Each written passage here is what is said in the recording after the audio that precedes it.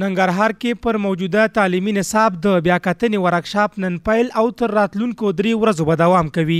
په دغه ورکشاپ کې د پوهنې وزارت استازی، د یونسکو او ننګرهار د پوهنې ریاست استازي او په ننګرهار کې د بېلابېلو ښوونځیو مدیرانو او مدني فعالانو ګډون درلود. د افغانستان د تعلیمي نصاب د پراختیا لوی رئیس عبدالظاهر ګلستاني د دغه ورکشاپ موخه په دې ډول واضح کړه. موږ غواړو چې نصاب کې هغه اصلاحات چې لازم دي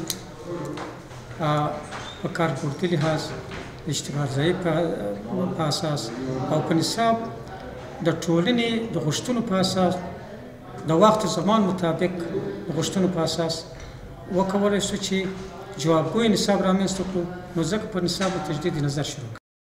په همدې حال کې د ننګرهار د پوهنې ریاست رئیس الهداد اسماعیلزی هم په تعلیمي نصاب کې یو لړ ستونزې مني او یاد تعلیمي نصاب د خلکو له علمي سطحې لوړ بولي او د ورکشاپ له ګډونوالو یې غوښتنه وکړه چې په دې نصاب کې دې ټولې ستونزې را په ګوته کړي.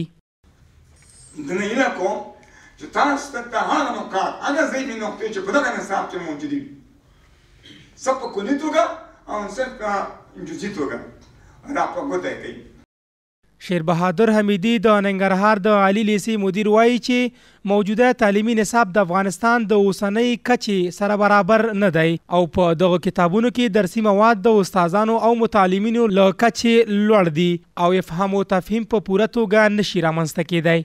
زه یې د افغانستان د اوسني وضعیت سره مناسب نصاب نه بولم. کوم کتابونه چې جوړ شوي دي، دا ډېر په لوړ معیار جوړ شوي دي. په یو کتاب کې چې کوم تدریسي مواد راجمع شوي دي، د هغې لپاره موږ مسلکي ښوونکي نه لرو چې هغه په ښه شکل سره تدریس کړي. اوسمهال د افغانستان د معارف وزارت، د نصاب د کمېټې او د نصاب د تطبیق کوونکو ترمنځ همغږیتوب شتون نه لري چې دا د شاګردانو د تعلیمي سویې په ټیټوالي کې مهم رول لري. که چېرې نوی نصاب د ښوونځیو استادانو ته تشریح او د نصاب د تطبیق په برخه کې د هغوی ستونزې حل شي نو یقینا چې ډېرې مثبتې پایلې به ولري. فقیر محمد فقیرزی، انعکاس راډیو تلویزیون، ننګرهار.